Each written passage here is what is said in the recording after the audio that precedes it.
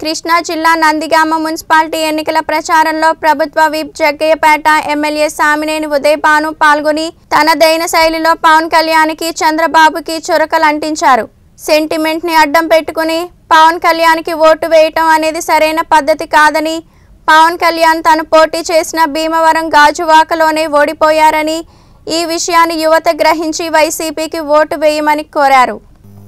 YCP ప్రభుత్వం అధికారంలోకి వచ్చిన తర్వాత అనాసాగరంలోనే అనేక సంక్షేమ అభివృద్ధి పథకాలు జరిగాయని ప్రభుత్వం అధికారంలో ఉంది కనుక భవిష్యత్తులో మరెన్నో జరుగుతాయన్నారు. టీడీపీకి గాని జనసేనకు గాని ఓటు వేస్తే డ్రైనేజ్ వేసినట్టు అవుతుందని ఎందుకు ఉపయోగపడదని గెలిచే తమ పార్టీకే ఓటు వేయమని కోరారు. వైసీపీ ప్రభుత్వం విజన్ ఉన్న ప్రభుత్వమని మేనిఫెస్టోలో చెప్పిన నవరత్నాలను ఈ ఇరవై నెలల కాలంలోనే తొంభై శాతం అమలు పరిచారని చంద్రబాబు వంద పేజీలతో ఆరు వందల హామీలు ఇచ్చారని చివరికి ఆరు హామీలు కూడా నెరవేర్చలేదని దుయ్యబట్టారు. చంద్రబాబుకి పవన్కి భవిష్యత్తు లేదని అన్నారు. అన్నసాగరంలో ఉన్న ఒకటి పంతొమ్మిది ఇరవయో వార్డు అభ్యర్థులు పాకలపాటి కృష్ణ మంద మరియమ్మ కర్రి రవీంద్రనాథ్లను అధిక ఓట్ల మెజారిటీతో గెలిపించాలని కోరారు. ఎప్పుడు ఏ అవసరమున్నా ఎమ్మెల్యే మొండితోక జగన్మోహన్ రావుకి గాని తనకు గాని నిరభ్యంతరంగా నిర్మోహమాటంగా చెప్పవచ్చునని ప్రతి సమస్య పరిష్కారానికి ప్రతి సంక్షేమ అభివృద్ధి పథకం గ్రామానికి అందించడంలో తన వంతు సహాయ సహకారాలు అందిస్తానని హామీ ఇచ్చారు.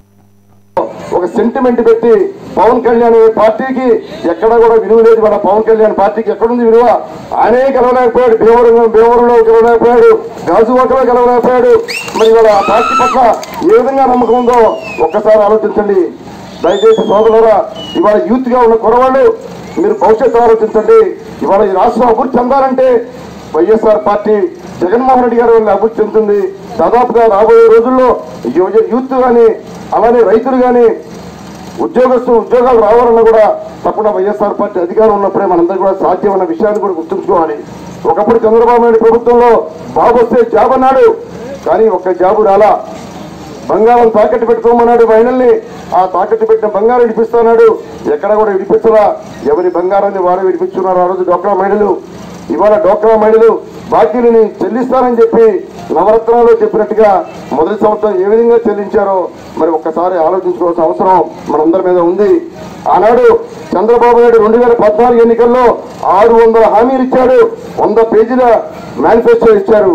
కానీ వంద పేజీల మేనిఫెస్టోలో ఆరు వందల హామీల్లో ఆరు హామీలు కూడా అమలు జరగలా. కానీ ఇవాళ నవరత్నాలు అని చెప్పి తొమ్మిది నవరత్నాల్లో దాదాపుగా తొంభై శాతం పూర్తిగా అమలు చేశారు ఇవాళ మన ముఖ్యమంత్రి జగన్మోహన్ రెడ్డి గారు. కేవలం నవరత్నం అని చెప్పి చెప్పని కూడా అనేక రకాల హామీలు ఇచ్చారు మన మన ముఖ్యమంత్రి జగన్మోహన్ రెడ్డి గారు. తప్పకుండా ఇవాళ మన ముఖ్యమంత్రి జగన్మోహన్ రెడ్డి గారి గురించి పొగట్టం కాదు చేతన మనిషి. ఆయనకు ఒక అవగాహన ఉంది ఆయనకు ఒక ముందు విజన్ ఉంది. తప్పకుండా ఈ రాష్ట్రాన్ని అన్ని రకాలుగా అభివృద్ధి చేసే పరిస్థితి మనకు ఒక ఒక జగన్మోహన్ రెడ్డి గారికి వైఎస్ఆర్ పార్టీకి మాత్రం ఉందని చెప్పి తెలియజేస్తూ ఇవాళ తెలుగుదేశం పార్టీ కానీ అలాగే పవన్ కళ్యాణ్ పార్టీ జనసేన కానీ ఓటు వేస్తే ఆ ఓటుకి విలువ లేదు లేదు లేదని చెప్పి నేను తెలియజేస్తున్నాను. ఇవాళ అధికారం ప్రభుత్వం ముందే మన ప్రభుత్వంలో మనం అనేక రకాలుగా పనులు చేసుకోవచ్చు. అదే జనసేన తెలుగుదేశం పార్టీకి ఓటు వేస్తే ఆ ఓటు వేస్తే అది ఒక డ్రైనేజీలో వేసిన దాంతో సమానం తప్ప ఆ ఓటుకి విలువ ఉండదు అని చెప్పి నేను మీకు దయచేసి మీ అందరూ కూడా తెలియజేస్తున్నాను. ఎవరన్నా పొరవాళ్ళు మరి ఉద్రేకపడి జనసేనకు ఓటు వేయాలని చెప్పి ఆలోచిస్తే దయచేసి సోదరులారా మీరు కూడా ఆలోచించండి. మీరందరూ కూడా సాఫ్ట్వేర్ ఇంజనీర్స్ ఉన్నారు ఇక్కడ. చాలా మంది చదువుకున్న యువకులు ఉన్నారు. చాలా మంది మేధావులు ఉన్నారు.